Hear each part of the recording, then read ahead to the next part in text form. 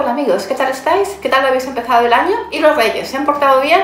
Yo os puedo decir que yo he debido de ser muy muy buena durante el 2021 porque empiezo el año ni más ni menos que con este vinazo Finca el Maldito 2019 ¿Y por qué os digo que es un vinazo? Diréis, si todavía no lo he probado. Pues os puedo decir que es un vino que solo se elabora en añadas muy especiales. En añadas en las que la conjunción de terruño, calidad de la uva y climatología producen una cosecha absolutamente excepcional.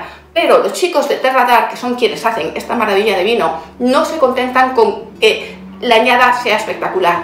Proviene de unas parcelas muy específicas, las que trabajó desde su niñez hasta que murió con 104 años Rafael el Maldito. Por eso recibe este nombre, este vino. Selecciona cada uva que entra en este vino.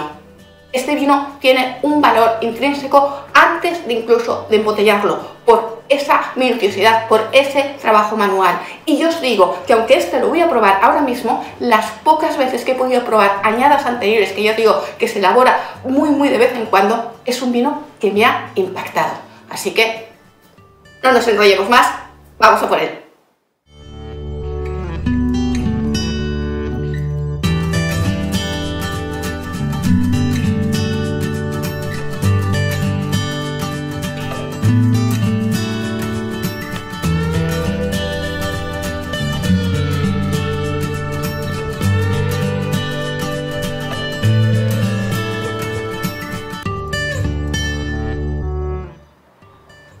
En la parte visual, lo primero que quiero que veáis es la etiqueta. A mí me parece realmente espectacular, muy impactante. ¿Veis cómo está torcido en vertical la tierra, los árboles?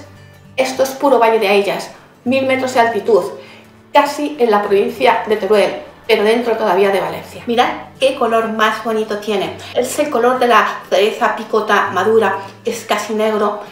El ribete está todavía amoratado. Tened en cuenta que este vino es muy muy joven, realmente es un pequeño bebé que empieza a andar, es un 2019 y lo embotellaron allá por noviembre, apenas lleva dos meses en esta botella. Es una primicia, ya sabéis que os las traigo. Vamos a por la nariz. Cuánta intensidad y sin mover la copa. Fruta roja muy muy muy madura, pero sin llegar a pacificarse tiene una intensidad como de terciopelo. Pero es que además hay notas herbáceas, pero casi dulces. Me recuerda a la vaca. Uy, ¿cómo promete esto? Tostados. Ligeras especias, muy muy sutiles la nuez mascada, cuando la vas a rayar y luego cuando lo rayas, ese aroma que desprende tan intenso. El chocolate negro, también el que utilizamos para los postres y también lo rayamos. Cuánta profundidad, cuánta intensidad. Mm, casi estoy como recogiéndome. Miramos la boca. ¿Qué sensación de finura más espectacular tiene este vino?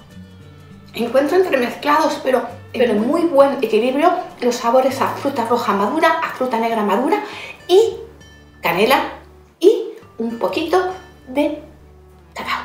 Pedazo de camino importante que tiene el vino, pero es que lo necesita, porque para aguantar lo que va a aguantar este vino, es todavía muy joven, necesita de esa nobleza y necesita de esa autoridad. Pero es que es tan noble y tan elegante que esto en nada, en 3-4 meses empieza ya a integrarse y estoy convencida de que nos va a dar un tacto de seda, un tacto de terciopelo. Qué buen potencial tiene este vino. Pero quiero volver a ver la nariz.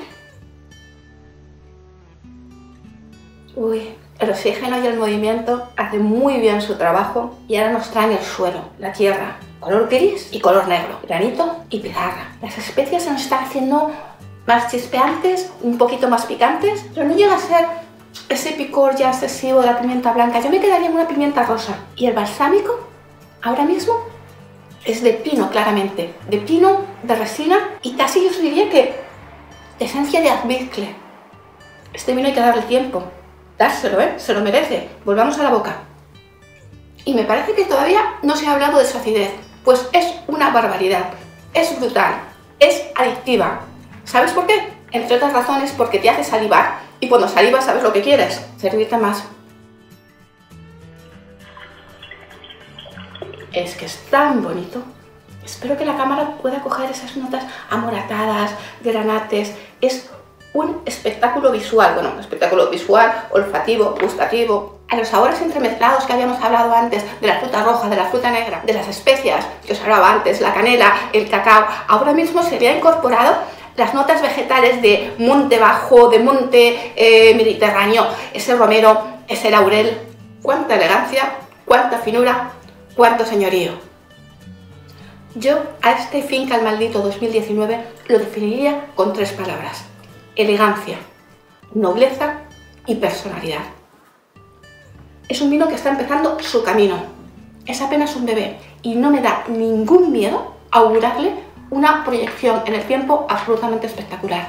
Y cuando me encuentro con este tipo de vinos, que no es todos los días, siempre os recomiendo que compréis más de una botella, porque es maravilloso ver la evolución de estos vinos, cómo están ahora, que están empezando a caminar, y luego cómo van evolucionando, cómo van adquiriendo más complejidad, más profundidad.